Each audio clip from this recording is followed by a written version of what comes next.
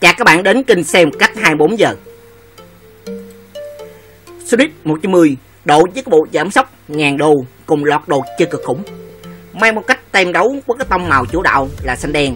Cái con chiến mã mang tên là Sonic 110 độ cực kỳ nổi bật. Sau khi được chủ nhân dọn lại là hoàn toàn từ phần trên ghi đông đến dưới cái chân chân bằng một số tiền là khá lớn. Phần ghi đông được trang bị cụm thắng của Rainbow Asset, được tích hợp thêm cái bình dầu rời của Nam chi CNC mini nhỏ gọn chứa dầu phụ thêm chất xế. Tay con Subi được tích hợp, khả năng tăng con bằng tay cũng rất tiện lợi. Ngoài ra, với cái chế độ foreign là chống gãy, sẽ cho cái độ cụm giảm thiệt hại khá nhiều khi bị té ngã. Bên cạnh đó, ta còn lấy thêm những chi tiết khác như cái bộ cụm công tắc được bài với đa dạng cái nút bấm, nhưng là cấu hình là vô cùng gọn gàng, lạ mắt.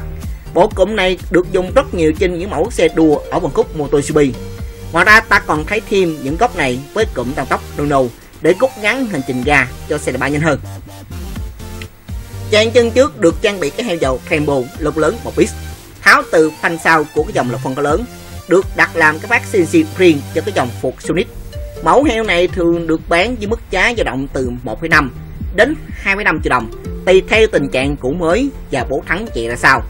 Tiền làm phát phải mất cũng tương đương khoảng là 50% giá heo dầu. Cái đĩa thắng Rakotex được làm là cái thớt lòng CC bên trong để bắt vào cái mâm Sunit. Dàn chân sau trang bị heo dầu Rainbow logo lớn, làm cái bát xe ngược tự dòng lọc phân cơ lớn.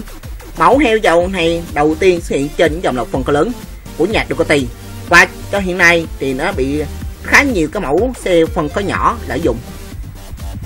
Trang bị phục nitrogen bình dầu rời phía sau để gia tăng cái độ thẩm mỹ chiếc xe cưng. Thương hiệu phục đến từ Anh Quốc này, khá nhiều anh em chơi xe kỹ hiện nay cũng ưa chuộng. Tuy được sản xuất Anh Quốc, nhưng hiệu này lại thông dụng ở Nhật Bản và Mỹ và đang lan rộng tới Việt Nam.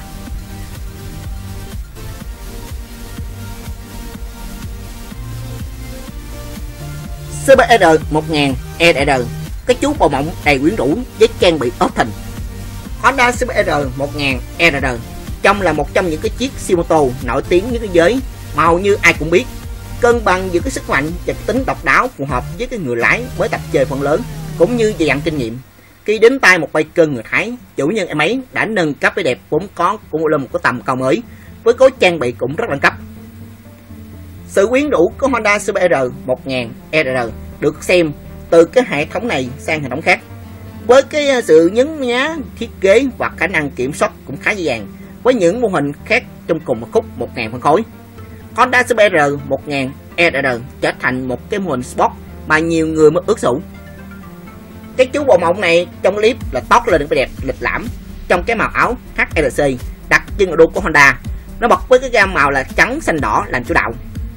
Đi sâu vào dành riêng cho cái bản độ này, đầu tiên hệ thống tay lái được cân nhắc sửa đổi khi trang bị cái bộ cụm phanh Distit thương hiệu của Nhật Bản. Cụm con tiếp em đến từ Ý. Đem lại cái sự nhường nhuyễn trong quá trình hỗn hợp vô số. Nâng cao hiệu suất kinh học cái phần đầu của kính gió, Micron Racing chụp chân kính IC. hai bên vị trí bình xăng, có sự góp mặt của trang bị ốp carbon IC Racing đem lại cái sự gồ ghề cơ thể của chiếc xe toàn bộ lực thắng được truyền tải thông qua dầu ép với cái màu sắc là tươi mới. Đem lại cái sự nổi bật cho bản đồ này. Trang chân trước nâng cấp phiên bản SB hệ thống phanh của Rainbow M50 mâm của mắt cái nàng chữ Y, đặc trưng của CBR 1000 ER hai bên thân động cơ cũng được che chắn bởi trang bị cái bộ ốc nồi CB Racing. Hiệu quả sang số nhanh, phanh bằng chân được tốt ưu hơn khi có sự thay đổi cái số gãy. Kinimoto cung cấp cái sức mạnh của động cơ bóng xanh là cái dàn ống xả thương hiệu của Ados Titanium